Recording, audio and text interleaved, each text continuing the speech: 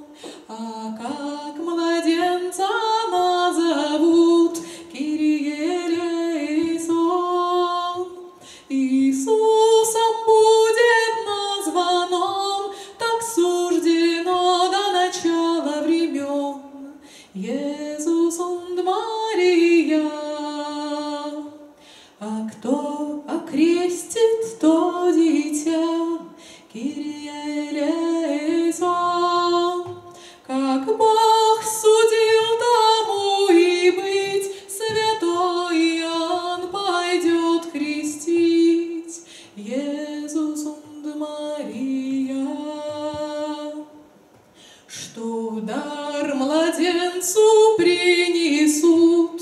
Кириелисон?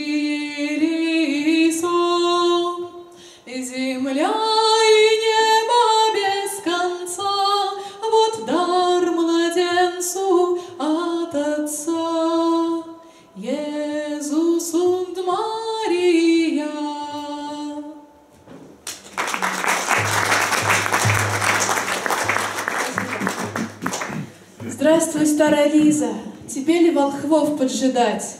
Ты с пятнадцати лет по охочим ходила рукам, даже если взойдет, даже если взаправду звезда, ты ее не увидишь. Смотри, облака, облака. А сегодня мороз, не сидела бы ты, не ждала, заболеешь, помрешь, на кой черт нам тебя хоронить? Лиза слушает. Вдруг зазвенит колокольчик осла, и придет ожидание, суровую, долгую нить. Лиза ждет караван. До него 18 минут.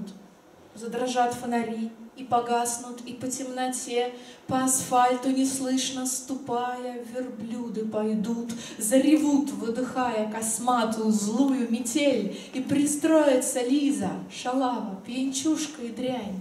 За последним верблюдом узорчатый схватит шнурок, и покатится мир, Самарканд, Бухара, Еревань, разноцветным ковром трепеща развернется у ног, застрекочут цикады, тревожно запахнет трава, и столпятся у входа, шушукаясь и бормоча, и верблюды, и Лиза, и три бородатых волхва, и серебряный столб, разорвавшего тучи луча.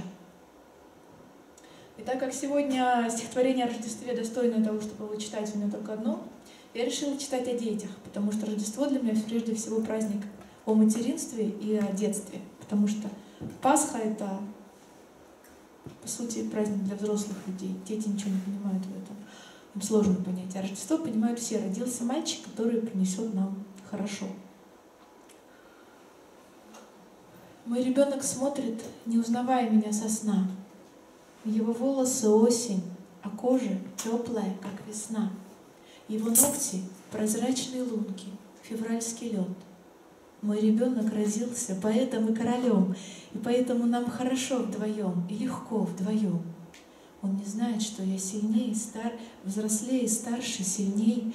Я зеленая степь, он летит надо мной во сне. Я не я с этим вотчина, ящерицам и коням. Он летит и хохочет, и падает на меня. Колыбелья и жертвенник, дерево палубы и креста. Мы лежим в темноте, Мы древнее, чем темнота. И приходят ветра, и качается мрак. Бог касается пальцем и заменяет агнцем. Пс, не надо бояться, маленький Исаак. Луч ползет по занавескам ситцевым на окне. Я играю для маленького рыцаря. Мир во мне.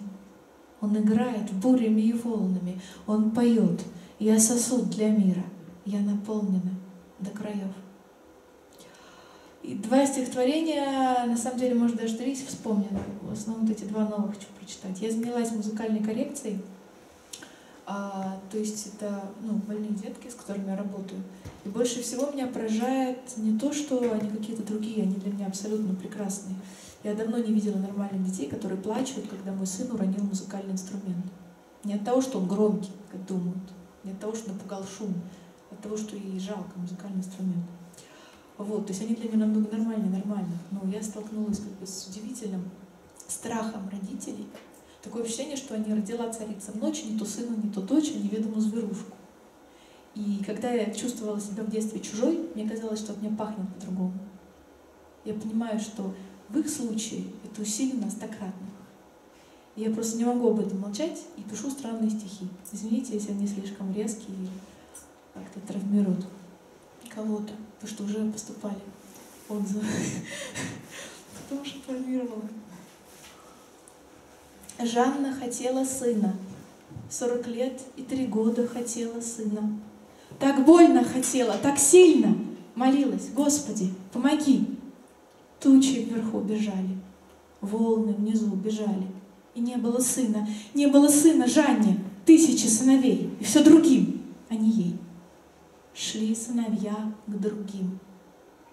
Шли по воде круги, вода становилась льдом, снега заносили дом, Раз в декабре постучался какой-то дед, съел ее хлеб, узнал о ее беде и сказал, что когда-то от праведников слыхал на рождение солнца.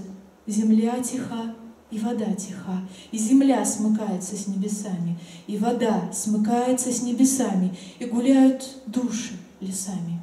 Иди себе и спасай их. Бери себе синекожую, замерзшую такую душу, Придешь в уголок, положишь, у очага просушишь, и будет тебе сын, ничего, что немного синь, что прозрачен чуть-чуть и тонок, а все же почти ребенок.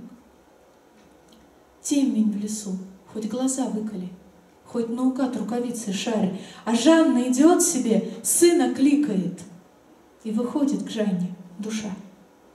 Она на салазке сажает сына, идет, дыхание его слушая, и внезапно думает обессиленно.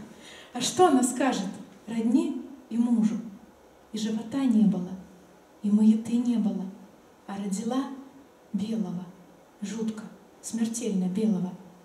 А сын за спиной продувает дудочку, начинает играть на дудочке. А Жанна думает, я все же дурочка, боже, какая дурочка. Я с ним намучаюсь, так намучаюсь, ведь с первого взгляда видать. Две ручонки, тоненькие, как лучики а глазище его слюда, а в глазах не людское, не наше что-то бьется, не то, что у всех, огоньки, бегущие по болоту, небеса, зачеркивающий снег. Что он такое? С чем я вообще связалась? Разве он сын мне? Разве я ему мать? За спиной дудочка молкнет и исчезает. Санки с горы подталкивает зима. Эх, как помчались, весело полетели санки пустые, корой намерзает лед. Жанна глядит, распахнутая, как метель, и падает на колени, и не встает. У царевны тонкие пальцы, ночная пластика. Серые кошки волнами к царевне ластятся, черные кошки, быстрые, как пунктиры, четыре года кружат у ее квартиры. Маме сочувствуют родственники и прохожие. Вот ведь какая, ломкая, непохожая, ни на детей, ни на нас, ни на наших пращуров. Словно душа кикиморами утащена, и теперь у тебя не дитя человечьей женщины, небо лесное, на льду голубые трещины. У царевны есть дудочка и бубенчики. Тетя в автобусе скажет, так вы не венчаны, вот, наверное, от этого, а может, от прививок. У царевны руки тоненькие оливы и кошачьи приливы каждое новолуние. Мама надеется, когда-нибудь я найду ее, где мою девочку прячут, где она прячется. Серая тень раскачивается, раскачивается и напевает без звука, движением воздуха. Звезды прыгают с высоты, на лету отращивают хвосты и с мяуканьем просят ласки и доброты. И опять становятся звездами. Спасибо большое.